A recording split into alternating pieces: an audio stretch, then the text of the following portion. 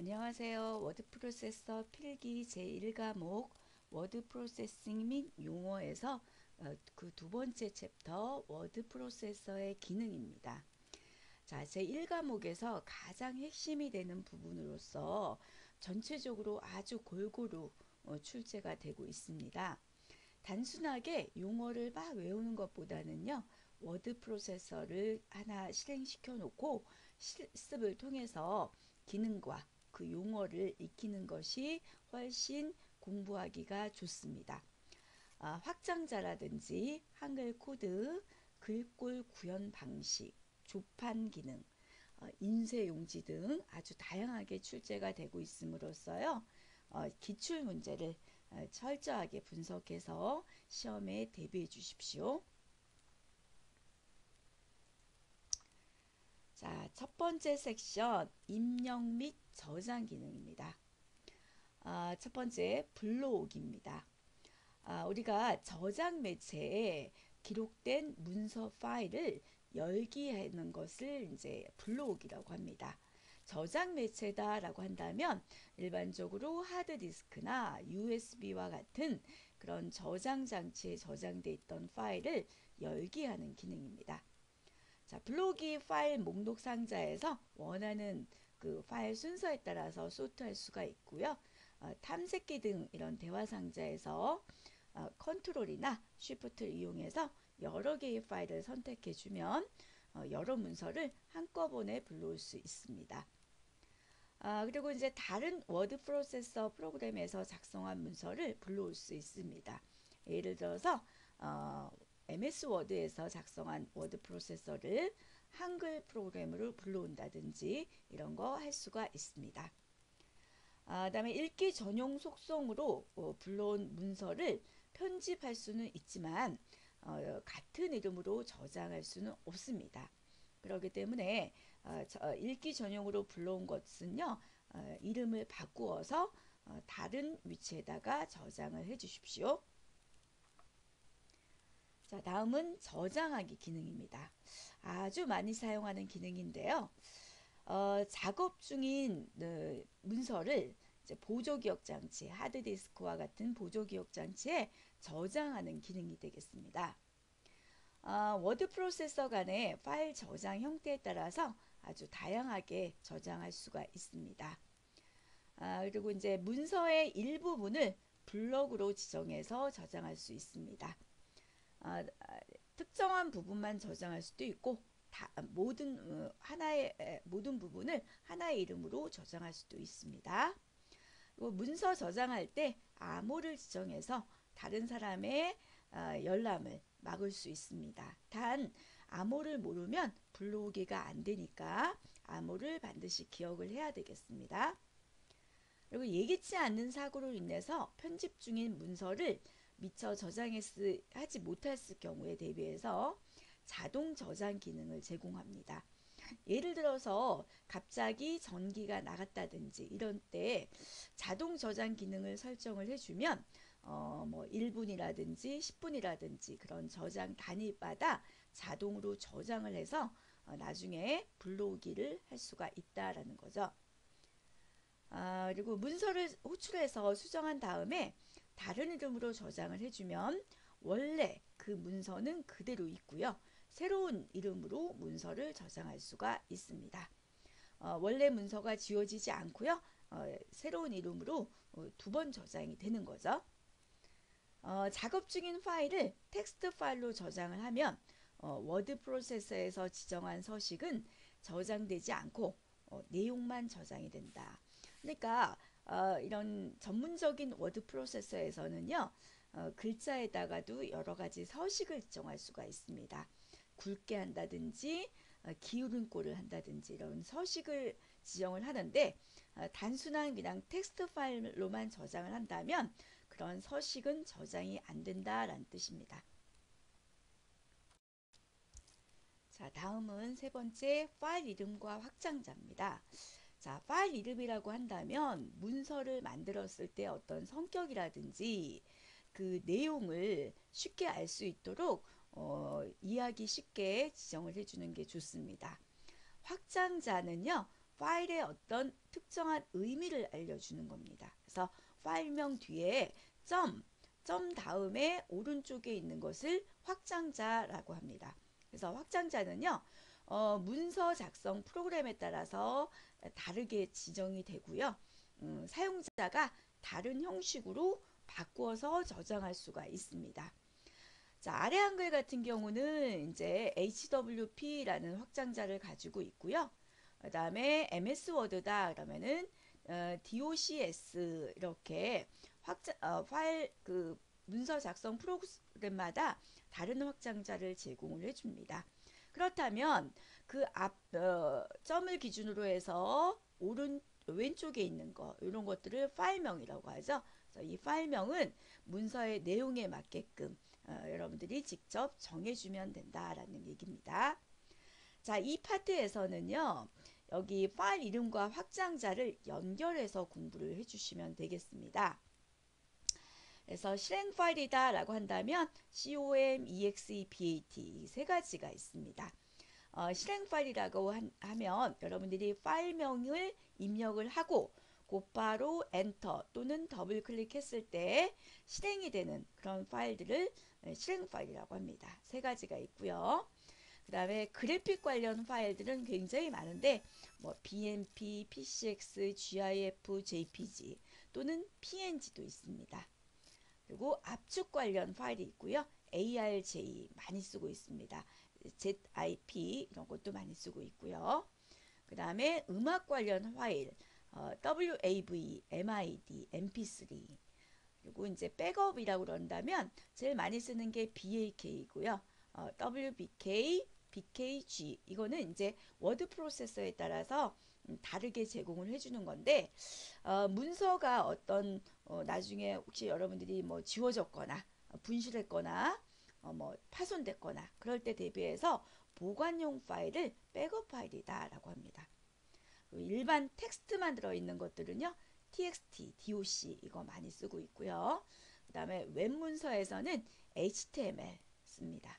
그리고 우리가 특정 어, 시간이나 아, 특정 분마다 자동 저장할 수 있는 ASF, ASV라는 확장자도 있습니다. 그리고 아도브사에서 만든 전자 어, 문서 파일 형식이 있습니다. PDF 있고요. 그리고 이제 RTF라고 해서 어, 대부분의 워드 프로세서에서 지원하는 어떤 문서 포맷인데요. 응용 프로그램 간의 음, 문서 호환을 위해서 만든 그런 파일 형식이 되겠습니다. 그래서 확장자와 그거에 대한 설명인데 이것은 이것이다 이런 식으로 어, 그 의미를 기억을 해주시면 되겠습니다. 자 다음은 이제 키보드 기능입니다. 자 여러분들이 가장 많이 사용하는 입력 장치 중에 하나가 키보드가 되겠는데요. 어, 이거는 이제 키보드 개수 따라서 뭐 103키라든지 106키라든지 이렇게 키의 아, 기능이 키의 개수가 있고요. 그 기능이 있는데 function 키 그러면은 자주 사용하는 어떤 워드 프로세서의 기능을 하나의 키에다 묶어놨습니다. 이게 F1에서부터 F12까지가 있습니다. 예를 들어서 F1키다. 그럼 도움말 이런 것들을 function 키, 기능 키다라고 합니다. 자, 두 번째는 이제 조합 키인데요. 이것은 자기 혼자 쓸 수 없고 항상 다른 키하고 같이 사용하는 키입니다. 자, 키보드에 보면은 control shift alt라는 키가 있는데요. 이것은 단독으로 사용할 수 없고 항상 다른 키하고 같이 씁니다. 아, 예를 들어서 control C 그러면은 복사하기라는 어, 조합키가 됩니다. 어, 그런 것들을 이제 조합키라고 하고요. 그 다음에 세 번째 toggle키. 하나의 키로 두 가지 기능을 합니다. 아주 많이 쓰는 키죠. insert라는 키보드가 있습니다. 이것은 한 번 누르면 삽입 상태가 되고요. 다시 한 번 누르면 수정 상태가 됩니다. 밀려서 쓰는 걸 삽입 상태라고 하고요. 지우면서 쓰는 걸 수정 상태라고 합니다. 그 키가 insert 키입니다. 한번 누르면 삽입, 수정, on, off가 되는 거죠. 자, 이런 키가 이제 caps lock, 대소문자를 구별해 주는 키, number lock 해서 숫자하고 방향이 들어가는 키, scroll lock이라고 해서요. 화면을 전체적으로 움직이게끔 설정해 주는 게 스크롤 기능이라고 합니다. 그런 걸 설정해 주고 해제하는 키입니다. 그 다음에 또 한영키가 있죠. 한글과 영문으로 전환하는 키 이런 것들을 toggle 키라고 합니다. 그 다음에 이제 어, 바로가기 키라고 해서 단축키라고도 하는데요. 어, 어, 좀 전에 이야기했던 조합키 어, 그런 것들을 이용해서 만든 어, 키입니다. 그래서 control C 그러면은 복사하기 이런 바로가기 키예요. 어, 자주 쓰는 그런 이런 바로가기 키는 외워주면 워드 프로세서 작성할 때, 작성할 때 굉장히 빠르게 작성할 수가 있습니다. 복사를 한 다음에 붙여넣기 하는 키가 있죠. control V, 어, 자르기, control X, 오려두기라고도 하죠. 다시 지운 걸 다시 살리겠다. control Z 이런 것들을 바로가기 키라고 합니다. 그 다음에 이제 뭐 기타 ESC는 이제 명령어를 취소할 때 하는 거고요. 그 다음에 enter는 줄 바꿀 때 음, 어, backspace는 왼쪽 문자 지울 때 space bar 이거는 이제 우리가 insert 키로 삽입과 수정 상태로 변경이 될 수 있다라고 했는데요. 삽입 상태일 때는요. 어, space bar 누르면 공백이 막 삽입이 돼요. 수정 상태일 때는 커서 오른쪽에 있는 문자가 삭제가 됩니다. 우리가 일반적으로 많이 쓰는 키지만 이것들을 글자로 표현해서 문자로 문제를 만들어 놓으면 헷갈릴 수가 있거든요. 그러니까 그것들을 정확하게 기능 키를 기억을 해 주시기 바랍니다. 그래서 어, 딜리트 같은 경우는 어, 오른쪽에 거를 지우는 거야 글자를 왼쪽 거 지우는 건 백스페이스 오른쪽 거 지우는 건 delete 그 다음에 이제 print screen이 있고 alt print screen이 있는데 print screen 같은 경우는 화면 전체를 clipboard clipboard라 그러면 임시 기억 장치입니다 저장하는 키고요 alt 누른 상태에서 print screen이다 그러면 현재 활성된 창 창을 윈도우 환경에서는 여러 개 열어놓고 사용할 수가 있습니다. 이렇게 뭐 하나, 둘, 셋 이렇게 열어놨다면 현재 작업 중인 창이 만약에 이 세 번째 창이다. 이것만 캡처하겠다 할 때는 Alt 프린트 스크린이 되고요. 이 세 개를 전체 캡처하겠다 할 때는 이 print screen 창이 크기 키가 되겠습니다. 이런 것들이 이제 키보드 기능이 되겠습니다. 자, 다음은 한글 코드입니다. 자, 우리가 어, 한영키를 눌러서 한글을 입력을 하게 돼 있는데요. 자, 이 한글 코드 굉장히 출제가 많이 되고 있는 부분이 되겠습니다. 크게 세 가지가 있습니다. 완성형, 조합형, 유니코드형 세 가지가 있는데 어, 완성형을 다른 말로 KS1001이라고 하고요. 어, 이게 이제 1987년이라고 그래서 어, 연도가 표시가 되고 있습니다. 그 다음에 이제 조합키 있습니다. KS 어, 1001, 1992라고 표시가 되고 있고요. 그 다음에 유니코드는 KS1005-1이라고 합니다. 문제를 어, 나타내 줄 때요. 어, 유니코드 한 다음에 괄호 열고 KS1005-1 이런 식으로도 표현이 되기 때문에 같이 기억을 해주시기 바라고 완성형은 글자 자체가 미리 완성이 돼 있는 거예요. 이렇게 뭐 한 이렇게 완성이 돼 있는 거예요. 글 이렇게 완성돼 있는 걸 완성형 코드라고 해서 어, 이거는 영문이나 숫자는 1바이트인데요. 어, 한글 같은 경우는 2바이트로 표시를 해줍니다. 한글은 메모리도 이제 두 배로 차지가 되는 거죠. 1바이트는 8비트입니다. 음, 그러니까 어, 2바이트면 16비트가 되겠죠.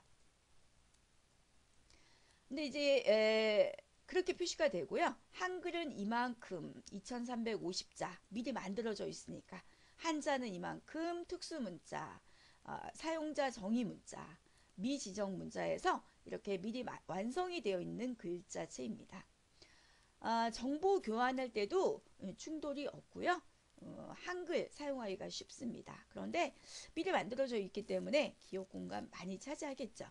정보 교환용으로 사용을 하고 있습니다. 자, 근데 이 조합형 같은 경우는요. 초성, 중성, 종성이 에, 그걸 이용해서 글자를 만드는 거예요. 만약에 한글이다 라고 했을 때는 초성은 한이 히읗이죠. 이게 초성. 그 다음에 아 이게 중성. 그 다음에 니은 이게 종성이 되겠습니다. 그래서 히읗과 아와 니은을 합쳐서 글자를 만드는 거예요. 그렇게 만드는 걸 조합형이다 라고 합니다. 그러니까 일반적으로 이 완성형보다는 글자 수가 굉장히 많고요. 초성, 중성, 조합, 아, 종성 이런 걸 합쳐서 글자를 만들어 나갑니다. 아, 이것도 영문이나 숫자는 8비트를 차지하고요. 한글이나 한자는 2바이트 차지합니다. 어, 대부분의 한글을 다 표시할 수가 있습니다. 아, 그런데 이제 정보 교환할 때 충돌이 발생할 수가 있다라는 단점이 있고요. 정보를 처리할 때 사용을 합니다. 아, 그 다음에 이제 유니코드가 있는데요. 어, 완성형 코드하고 조합형 코드를 다 반영한 거예요. 어, 그러니까 완성형 한글 11,172자에다가 한글 자모 240자 아, 이것들을 표시할 수가 있고요. 이건 모두 다 다 다 2바이트씩이에요. 한글, 한자, 영문, 공백 다 2바이트, 2바이트로 표시하고 있습니다. 어, 외국 소프트웨어 이것들도 한글화 하기 쉽고요. 어, 한글을 모두 가나다 순으로 정렬을 합니다. 자, 완성형과 조합형을 동시에 사용할 수가 있어서 어, 전 세계에 있는 그런 문자들을 다 표시할 수가 있습니다. 어, 용량을 많이 차지하는 단점이 있고요. 어, 국제 표준 코드입니다. 아, 요즘은 거의 다, 다 유니코드를 쓰고 있습니다. 아, 이거는 뭐 완성형과 조합형을 반영을 했기 때문에 정보 처리용이나 정보 교환용 다 사용을 하고 있다라는 거죠. 요즘은 이 유니코드에 대한 문제가 많이 출제가 되고 있으니까 어, 특징에 대해서 기억을 해주시기 바랍니다. 자, 다음은 입력 방법입니다. 아주 중요하죠. 어, 떻게 입력을 할 것이냐. 우리가 그냥 음, 키보드를 통해서 많은 입력을 하게 돼 있는데 아, 이것들을 또 이제 문제로 풀어놨을 땐 어떻게 나오는지 기억을 해주시기 바라고요. 자, 글자판 일단은 어, 문자 입력할 때 한글은 어, 물론이거니와 뭐 외국 문자, 특수 문자 이런 것들은 상황에 따라서 어, 쉽게 빠르게 입력을 해야 되겠습니다. 자, 우리가 사용하는 한글 2벌식을 주로 사용을 하고 있는데요. 받침에 상관없이 그냥 글자를 풀어서 씁니다. 한글이다 그러면은 히읗, 아, 니은, 기역, 으, 니을 이런 식으로 그냥 예, 이제 초성, 중성, 종성으로 그냥 풀어서 있는 그대로 입력을 하는 2벌식을 쓰고 있고요. 쌍자음이라든지 복수, 복모음, 뭐 쌍시오, 쌍디귿 이런 거라든지 어 뭐 예를 들어 할 때 예 이런 것들은 복모음이 되겠잖아요. 이런 것들 쉬프트 이용해 주면 되겠고 어 3벌식 키보드를 쓸 경우는 초성, 중성, 종성을 이제 구분, 구분해서 아예 키보드로 입력을 해주면 되겠습니다.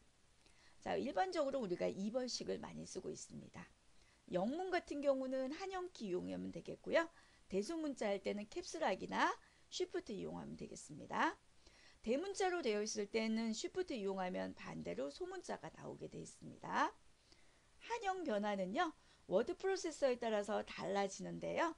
일반적으로 이제 한영키 또는 Shift Space Bar 또는 오른쪽 Alt키 이런 거 이용해서 한글과 영문을 변환할 수가 있겠습니다.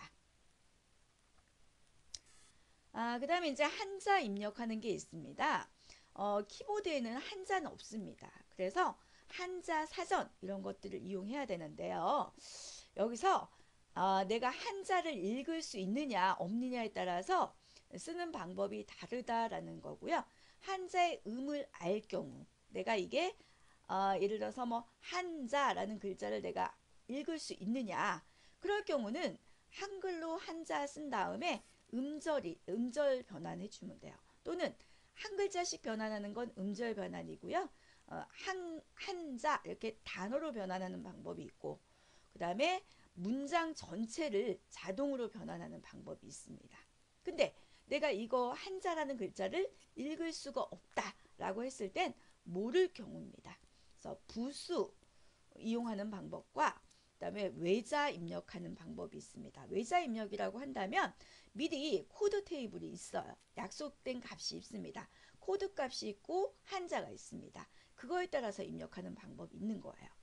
그러니까 내가 아- 아예 한글 한자를 읽을 수 없으니까 테이블에 있는 모양을 보고 입력을 하겠다라는 뜻이에요. 그 다음에 이제 two stroke 입력이라는 방법이 있습니다. 어, 한글 두 개의 글자를 이용해서 뭐 한자를 입력하는 방법인데 이거는 뭐 우리나라에선 거의 쓰지 않습니다. 그래서 여러분들이 요거 세 가지씩 있다라는 거 요거를 기억을 해주시면 되겠습니다. 음을 아는 경우 모르는 경우 그 다음에 이제 뭐 자주 사용하는 한자 어, 단어는요 어, 직접 사전에 등록해서 사용할 수도 있고요. 그리고 이제 뭐 한자가 너무 많다 그러면 뭐 일부분이라든지 전체를 블록 지정해서 한꺼번에 음, 한자로 또는 한글로 이렇게 변환할 수가 있다라는 거죠. 아, 그 다음에 이제 입력된 한, 한자를 다시 한글로 변환할 때는 한자라는 키를 다시 한번 눌러주면 된다라는 겁니다. 그래서 이제 여기 보면은 이제 이거는 이제 어, 어, 한자의 음을 알 경우겠죠. 한 글자씩 이렇게 한 쓰고 나서 한자 키 눌러서 변환하는 방법이고요. 요거는 단어죠. 한자라고 내가 한글로 쓴 다음에 어, 한자 키 이용해서 단어 변환하는 방법이 되겠습니다. 아, 그 다음에 이제 특수 문자 입력할 수가 있습니다. 이제 키보드에 없는 문자 그런 거 입력하는 방법이 되겠습니다. 아, 이건 이제 문자표 이용하는 방법이 있습니다. 어, 완성형 한글 코드의 워드 프로세서에서는요, 어, 그 한글의 자음, 기역, 어, 니은, 디귿 이런 자음이 있습니다. 어, 자음을 입력한 다음에 키보드에서 한자키 눌러서 특수 문자 입력하는 방법도 사용을 하고 있고요. 이런 특수 문자는 어, 이제 뭐 1바이트 또는 2바이트 이렇게 구성이 되어 있습니다. 자, 여기 보면은 특수 문자 표가 있죠. 요거는 이제 표를 이용하는 방법이고요. 어, 완성형 한, 한글 코드 방식의 특수 문자표에서는 뭐 기역, 니은, 디귿, 미음의 특수 문자가 많은데 미음 누르고 한자키 누르면 이러한 특수 문자 표가 나옵니다. 이것들을 이용해서 입력하는 방법이 있습니다.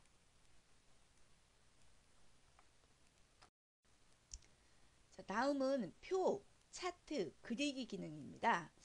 자, 우리가 이제 워드 프로세서에서 가장 중요한 기능 중에 하나가 입력이잖아요.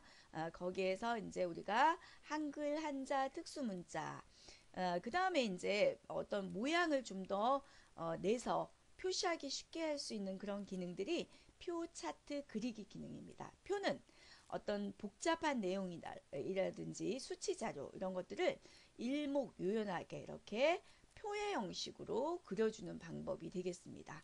그러면 보기도 좋고 입력하기도 좋고 어, 이렇게 할 수가 있겠습니다. 그래서 표 그리, 그리기라는 기능을 이용해서 어, 복잡한 형태의 표도 아주 간단하게 만들 수가 있습니다. 아, 표 그리기를 통해서요. 어, 마우스를 연필처럼 이렇게 움직여서 저처럼 이렇게 만들 수도 있고요. 어, 표를 만든 다음에 다양한 서식, 여기다 뭐 그림자를 준다든지 색깔을 넣는다든지 이렇게 변경할 수가 있겠고 그 다음에 표에서 같은 행이나 열을 어, 두개 이상의 셀을 어, 열에 있는 두 개 이상의 셀을 하나로 합치는 거예요. 이렇게 지우는 거죠. 지워서 하나의 셀로 이렇게 만들어 버리는 이런 기능도 있고요. 아, 그리고 표 안에 새로운 표를 이렇게 그릴 수도 있습니다. 그리고 이제 어, 이미 에, 입력된 문자를 표로 전환하거나 표를 문자로 하거나 이렇게 표를 그리고 나서 이걸 다시 글, 어, 문자로 전환을 하게 되면 표가 지워지고 글씨만 이렇게 보이는 기능도 있고요. 이렇게 글씨를 쓴 다음에 나중에 이렇게 표로 만드는 그런 방법도 있습니다.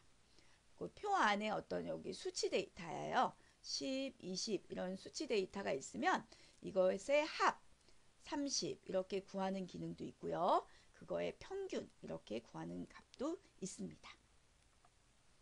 그 차트 기능이 있는데요. 차트는 데이터를 이제 좀더 어, 아, 확인하기 쉽게 그렇게 보여주는 기능을 그래프 기능이다라고 하는데요. 어, 표에서 보통 차트로 만듭니다. 실기할 때 여러분들이 워드 프로세서 실기할 때는 이렇게 표를 만들고 나서 차트로 변환하는 그런 문제가 나오거든요. 아, 블럭 지정을 한 다음에 차트로 만듭니다. 2차원 차트도 있고요. 어, x, x, y 값만 있으면 가, 아, 이제 2차원 차트라고 그러고 여기에 이제 x, y, z까지 값이 있으면 3차원 차트라고 하는데 이렇게 변환이 되고요. 아, 그런데 이제 여기서 원형이라든지 도넛 차트는요.